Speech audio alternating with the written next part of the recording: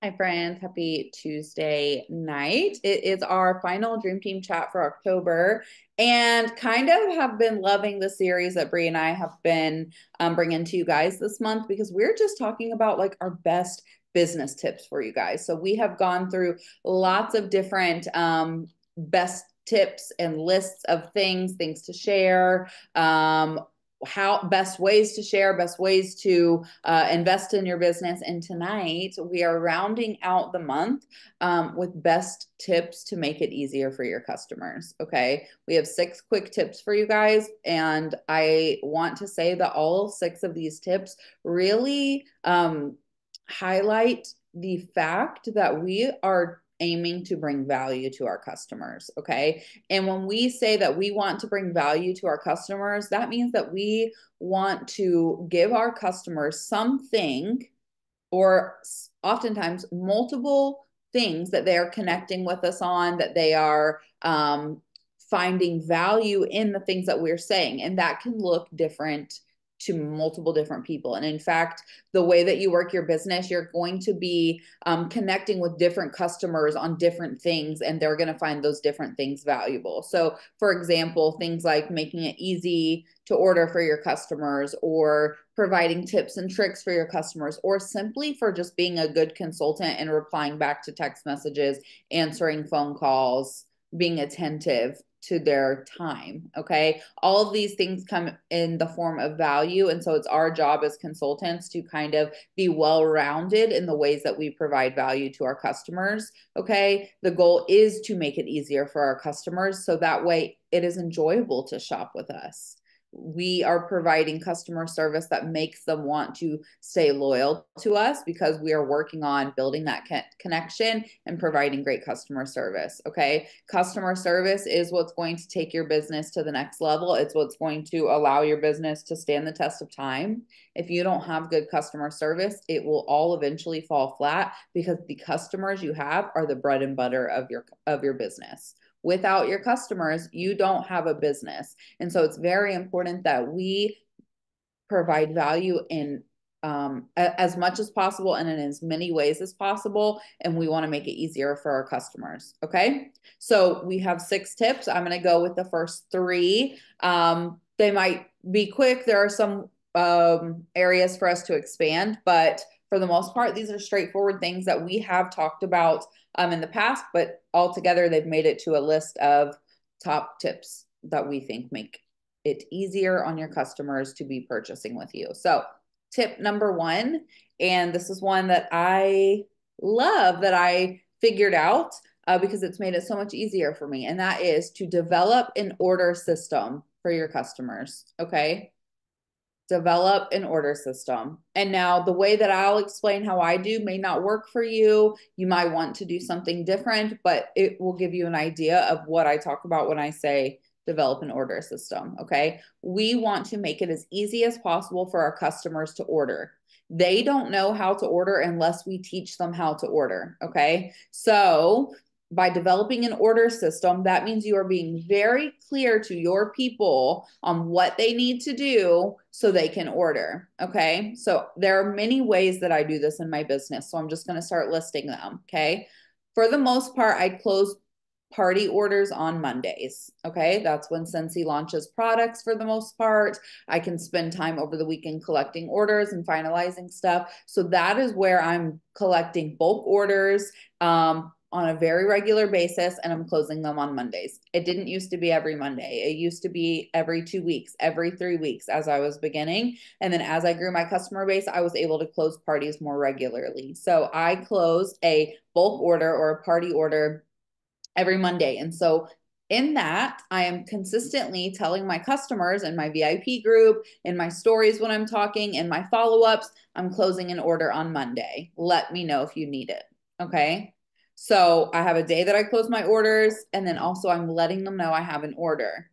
Okay. And then so I tell them how to give me their order. So in my VIP group, as I'm showcasing things, I'll say, drop a snow emoji in the comments to order this blue frost warmer, right? Drop a pizza emoji or drop a, a popcorn emoji if you want this new um, marquee warmer, right? And so all they have to do is drop a comment on the post and they know that I'm going to send them a message and I'm going to finalize their order through the message. Okay. Same with my follow ups and text messages. I'm checking in on an order or I'm checking in on their stash and I say, I have a local order closing Monday. I'll send you my link to browse around. Let me know if you have any questions. Okay. So I have developed an order system for my customers to either be giving me their list of orders to enter on my order on Monday, to be commenting so I can enter their order for them or finalize their order, right? And I'm saying it to where I'm training them to know, oh, she probably has an order on Monday. Oh, I sent her my list last time, so I'm sure I can just send her my list this time, right? Okay, so I do that. And I also send out fun mail to my customers. So if you are not local to me, if I'm not delivering your stuff, my customers know if they go to shop on my site, they're going to get fun mail in the mail as a thank you. Okay. That is an order system that I have trained them to look forward to, to anticipate, and to rely on it being there. Okay. Because I, I, um, honor my word. When I say that I'm going to send fun mail, I send fun mail every single time. Okay. So my customers know that yeah, I'm not delivering their orders, right? They see me delivering other customers' orders, but they know that even though I'm not delivering their orders, I'm still going to send them something in the mail. That is an order system that I have developed that has worked really, really well for my customers. My customers don't have to wonder, how do I order? They don't have to wonder if I'm still a consultant. They don't have to wonder what my website is because I am making it a point to tell them how to order. Okay. It is such a benefit to your business because it gives you the confidence to move. It gives you the, the direction to go and collect orders, and you know what you're going to say because you're going to try to be closing orders every Monday or every Friday or every other Monday, every other Friday, right? It gives you more direction. And then implementing something like fun mail or a postcard or a handwritten thank you note or an email after an order, that is an order system that you can develop. Okay. And then when we're talking emails, I'm hyperlinking things, right? So it's like, look at these pretty products, click here to shop. Look at these products, click here to shop. Okay. Again, making it very straightforward to my customers, giving them exactly the rules and direction that they need to shop. So develop an order system for your for your business. Okay. This helps your customers. It also helps you a lot too. Okay. Okay. Tip number two is reach out to your customers, meaning don't wait for them to come to you. Okay. You will have customers that love their Scentsy so much, they're going to seek you out and text you and give you an order. And that's awesome. Wine and dine those customers, love that relationship. So good. That is going to be the minority of your customers. Okay. Most of your customers are busy. They're not obsessed with Scentsy the way that you are yet. Okay. They are moving and grooving, doing their own thing. They are not always thinking about Scentsy. Okay. This is why it's important to have a presence to your customer base so they see you.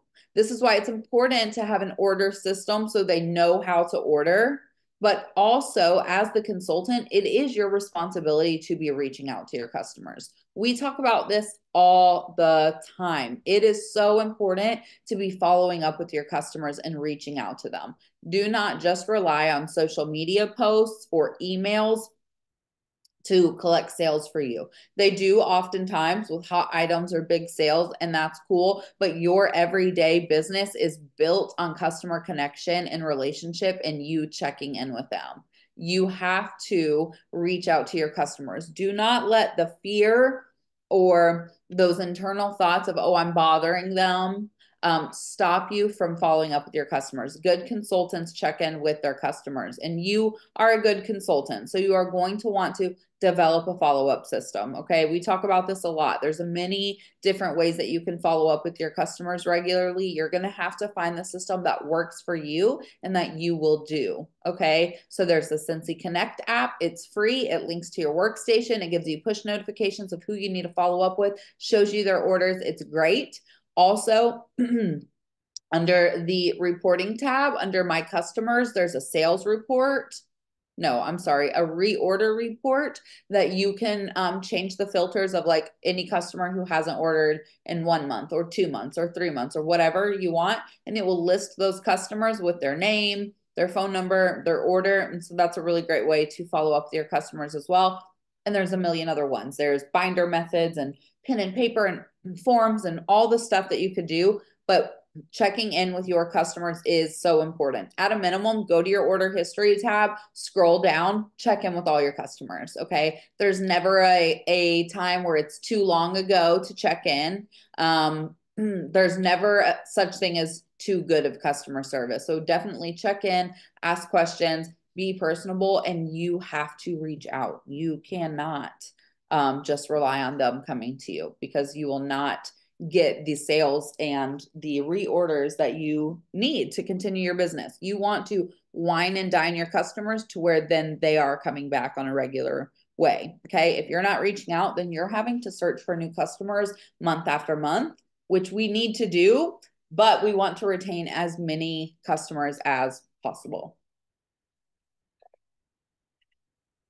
Okay. Number three, before I pass it off over to Bree, um, my tip is to organize your customers' information well in the workstation. Okay. Um, this means every time that you are placing an order for a customer, make sure you get as much information as you can their name, their address, their email address, their phone number. Um, and enter that when you're entering their order so you have a profile for them on your workstation okay? This makes it easier to follow up with them to track their orders if they're having any warranty issues or they really loved that red bar that they ordered last time. It makes it very um, simple for you to go find them and see their past orders and figure out um, and help serve them better okay? Also it's just good to have correct information on file. Okay. For all the reasons above, and also for email purposes, um, for networking purposes, um, it's really important to keep your customers' information. Um, and you can even take it further. I'm just going to walk through it as I say. You can go to the contacts section of your workstation and go to the, your contacts homepage, and you'll see all the names that you entered as you're collecting their um, information for like their first initial order. And from there, you can apply tags to your customers. I think this is really great. Um, I have tags for like my local customers, customers who do my monthly boxes. I have tags for customers that I've met at certain events. Um, I have customers who have purchased fan products before. And this makes it really easy for me to send an email to all my local customers or to remember, oh, I met this person at the Breakfast with Santa event I did last year. Okay. Um, so I love that you can customize it with um, tags. You can also do really cool things like add their Facebook URL. So, like if you message them on Facebook all the time, you can add their messenger URL where you can just click that and it will pull up Facebook Messenger, which is cool. Um, and then you can add notes too. So sometimes I'll do notes, especially people I meet at events or a home party or something. Loved silver bells, used to be a consultant back in the day, blah, blah, blah. That way, when I'm following up, I have some reference points as well all of this stuff is going to help you be a better consultant for your customers. It's going to help you better serve them. It's going to help you be able to recommend things to them. It's going to give you a better timeline for your follow ups, right? Um, and then the features of the tags are just really cool to be able to better organize how you want to contact them. Um, like, for example, like I have my Breakfast with Santa event coming up again. And so I'm going to email all of my past um, contacts from the Breakfast with Santa to let them know that I'll be back again this year. So little things like that by keeping their information organized makes it very helpful for you to provide amazing customer service. Um, and again, makes it easier for your customer to work with you and then you to be able to serve them. So those are my three tips. And then Bree, I'm going to hand it over to you. Okay, perfect. So um, I'm going to kind of y'all don't know this, but I'm going to move this around a little bit. And I'm going to take what we're going to say last and move it up because the rest of them I think fall under this category. And so I want to hit on this first. Um, so number four is going to be upselling and or knowing your bundles. Okay. So, as a new consultant, this can be one of the first things that you can really use your catalog and use the, um, the website to help you with this, but the opportunity to add something else for a better price or add something else for a good deal or just add something else for ease of um, use with their products is always there, right? Your customers already know about the buy five, get one free. So now they've got six bars. They said, I want these six bars. Are you going to ask them if they need some cotton cleanups to go with it? Right. Or if you take it back and your customers don't know about the buy five, get one free, if my customer is ordering, if they give me three bars, I'm asking, do they want to add, if they want to buy two more and get one free and get six total? right? Um, if my customers are getting two bars, I'm saying you want to add one more and you save a dollar on all three of them, right? Knowing your bundles, how they function, how much money it saves, um, and then getting used to offering that to your customers. And again, it goes back to getting over the hump in your head where you feel like you're being salesy or you're bugging them somehow or whatever. I, I know that we can all our, tell ourselves some weird things about having conversations with our customers. And this may take you a little bit to get used to, and it may take you a little bit to implement. But the reality of it is, is that if there's a better deal in it, I want to know. I can still say no, right? For example, I went to Verizon a couple weeks ago to upgrade my phone, and the guy sitting there telling me about all these deals, right? All these things that I can get if I just did this, if I just changed my plan, if I just spent an extra $5 a month, right? Some of that I took advantage of, some of it I didn't, but I had all of the information in front of me. And so, as a consultant, when you're looking forward to your business and you're saying, How can I be the best consultant for my customers?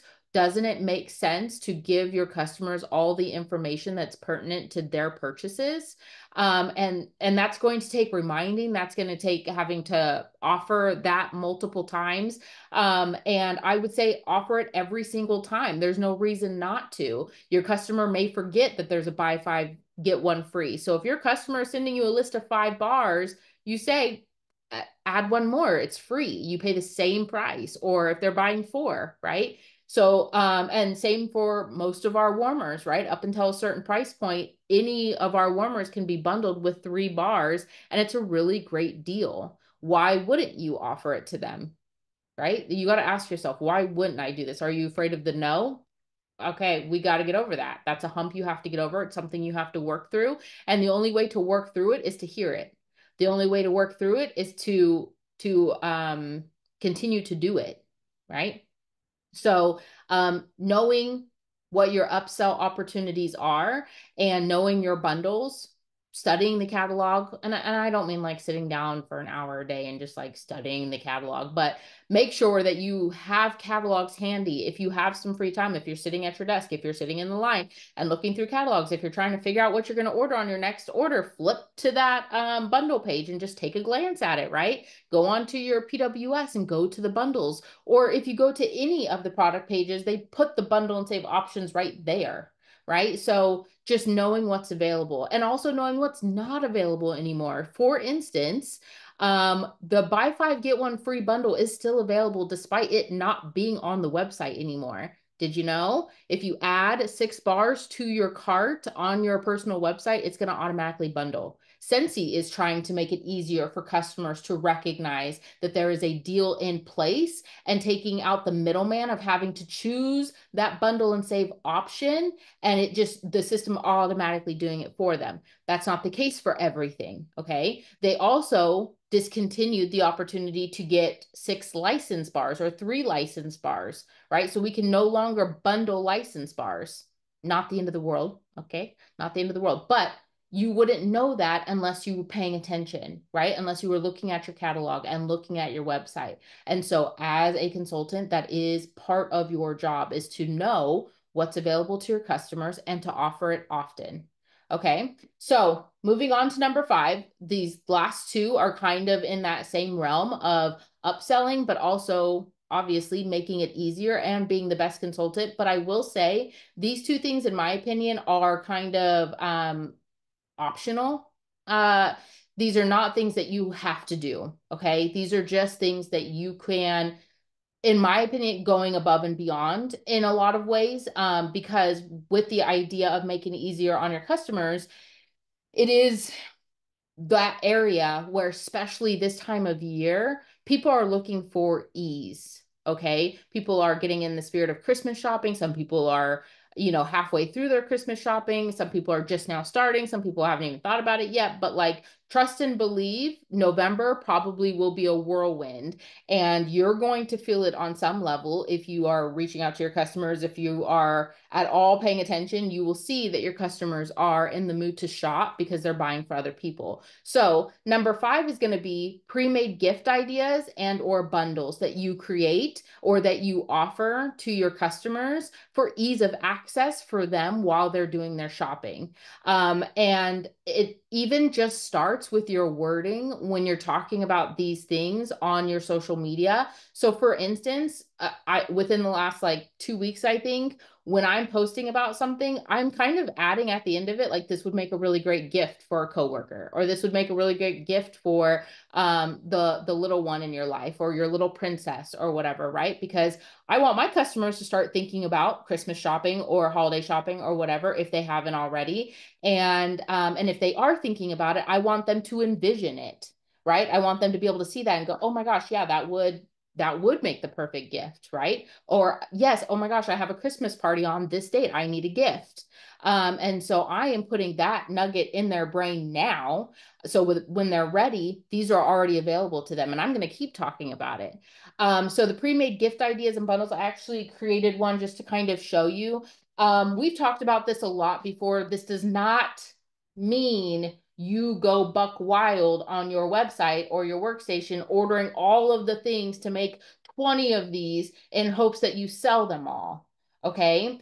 Literally today, me and Alexx were talking about closing a party. What should we get with our host rewards? And it was like, okay, I'm going to grab one of these and I'm going to grab one of these so that I can put it together. I know that I can sell that one. If I can't sell it, I will use it. I will gift it to one of my kids' teachers, right? I'm thinking business wise but I want to, I personally, personally budget and make room for being able to have my own stuff for the most part because my customers are used to my aesthetic, my hands, my house, my desk, my things. And so I want to stay true to that as much as possible.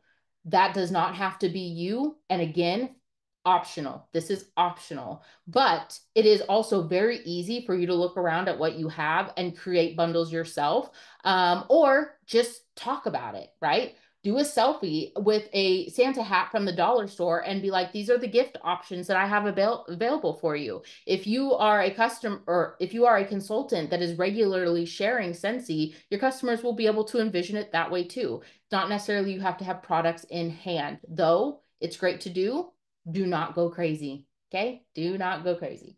But I have this already because I am thinking about gift bundles. So I just threw this together. Okay. Cute little cat mug I got from Target, a room spray, and a car bar. Okay. I have the pre-made gift bundle already. When I am ready to take pictures and showcase this, I will tell my customers, this is a perfect white elephant gift. This is a perfect gift for your kid's teacher. This is a perfect gift for your neighbor, right? Super affordable, 15 bucks, right? Gets you out the door. Okay. Super cute package, whatever. Creating those bundles, creating those gift options, having that option for your customers to not have to think about it. How easy is that? How often do you go into a store around this time and go for the pre-made already gift baskets or whatever that they have versus trying to come up with your own? Right? That's such a pain sometimes. I sold 14 boo buckets where I literally put a buddy in there and some candy and the scent pack into Dollar Tree buckets, and people went nuts over them. Why? Because they didn't have to think about creating a boo bucket for their kids. It was already done. They could have spent the extra two dollars and did it themselves and bought the buddy, but but they needed, they wanted somebody to already do it for them. Okay. Your customers are not going to come out and say, uh, most of the time, some customers might ask you, and this is also another great thing to do is to say, I am here to make it easier on you. If you need gifts for somebody within a certain budget, price point, whoever, let me know. Again, it's letting your customers know you're open for business and that you can make it happen within the parameters of what they need, right? Give your customers permission to come to you when they have a need at, for anything, right, along the line. Um, but having that stuff available to be able to show or um, just speaking that consistently to your customers on social media, all of that stuff that you have the availability to be able to create the bundles, all of that stuff is is going to like prove so successful and so worthy this time of year. Um, but again, optional. If that sounds like something that is way over your head, if you're looking at your calendar and going, I can only at this point I can only do like direct ship orders. I'm not shipping anything to my house. I can't take that on. Then don't do it. Don't do it. It's not necessary. Your customers do not know what they don't know. So if you are not offering it to them, they don't know that I'm offering it to my customers. Okay? So don't overwhelm yourself. Don't step into burnout knowingly because you think that this is a necessary part of your business because it's not. Okay. The last one, kind of piggybacking, same thing. Um, but this is also, this is something that you can try out in a different season like for real season, like spring or summer, try it out on your customers and get a feel for it, get a run for it where it's not such a busy season. Um, and that's boxes and or bags. Okay. So like Alexx does her um Alexx's box creations. I've been doing box by Brie um for years. I think I started my second year of Scentsy doing my box by Brie's. And it's literally like a whiff box which fun fact if you're new here the whiff box was literally an idea that came up a couple years ago and became a thing that Scentsy got inspired by consultants who were doing their own creative boxes every month for their customers. So the Whiff Box was born out of inspiration from consultants, which is really cool. Um, and the Whiff Box also a really great option to consistently promote um, because that takes your work out of it it's a really great bundle to say, hey, you get, you know, however many full size products. It's a great price. It's always a good value. You get exclusive items. Like there is so much to brag on on the Whiff Box, and you don't have to do a dang thing but order it or tell your customers about it. And so, if that is a better route for you, that's still PRV. That's still good customer service, and that's still um, going uh, uh, doing a little bit more than just giving them the catalog, right?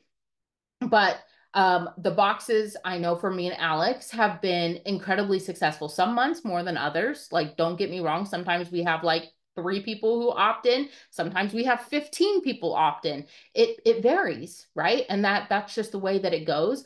But the great thing about offering boxes or bags that are special to you that you create is just that. It's special to you right? Yes, Alexx does her own box. I do my own box, right?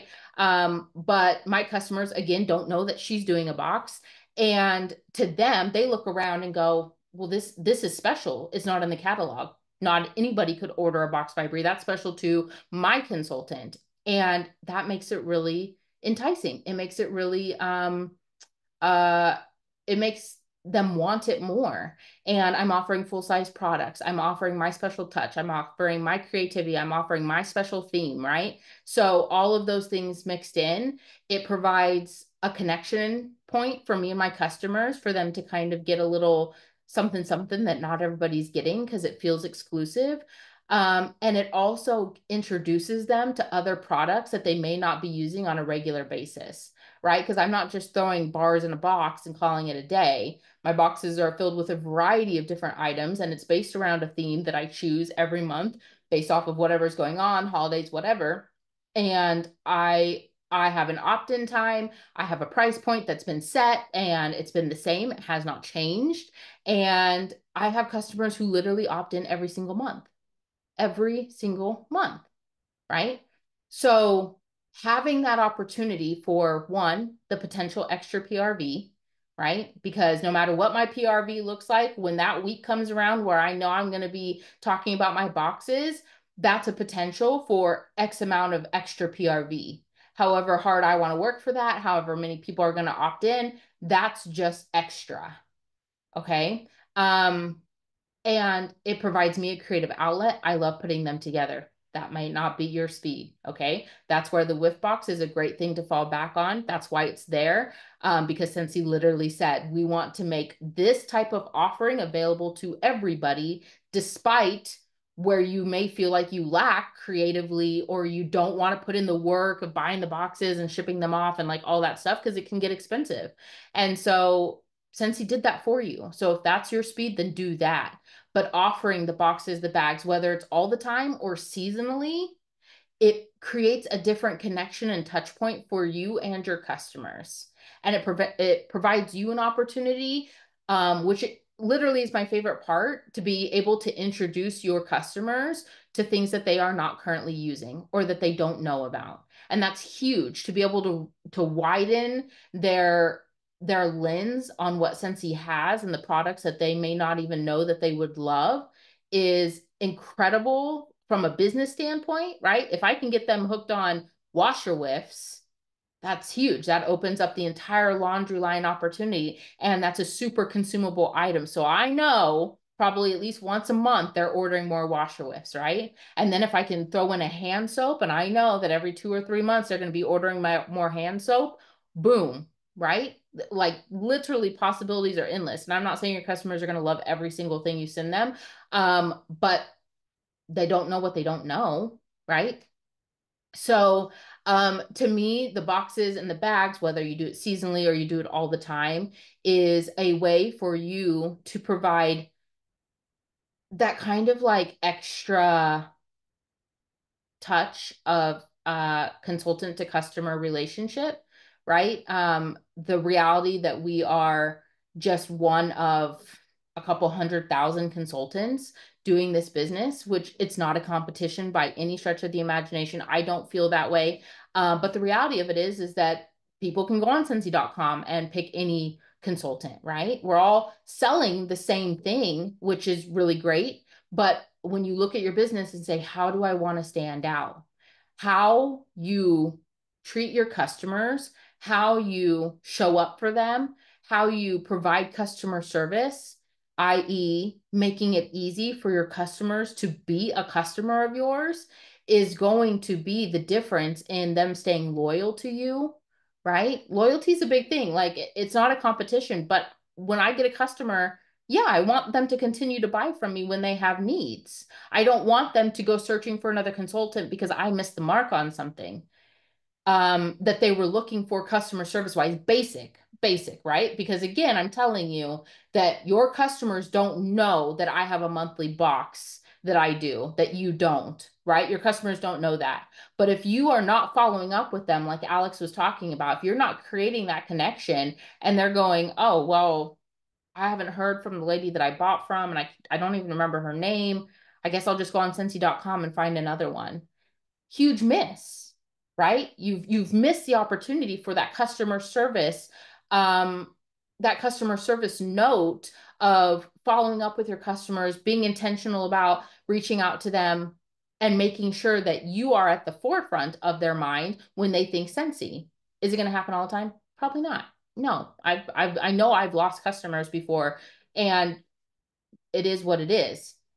But are you doing everything you can within the parameters of what you can do? Okay. And it, and it's just about being better. Okay. Been in this business for seven years and I'm still not the best that I can be as a customer, as a consultant. I know I have things I need to work on. I know I can always be better. And so it's not something that you one day will arrive at. It's just something that you slowly start to add in and you go, okay, I'm going to tweak this. I'm going to make it my own and I'm going to get better at this. Okay now I want to work on this area and things change. So uh, social media changes, technology changes. So we just have to kind of move and groove and you staying connected to your customers allows you to stay connected to the one of the main points that matters in this business which is your relationships with your customers Okay, so those are our six tips for making it easier for your customers and in turn being the best consultant you can be. Um, and so we hope that this information was super helpful for you and you go on to rock your business.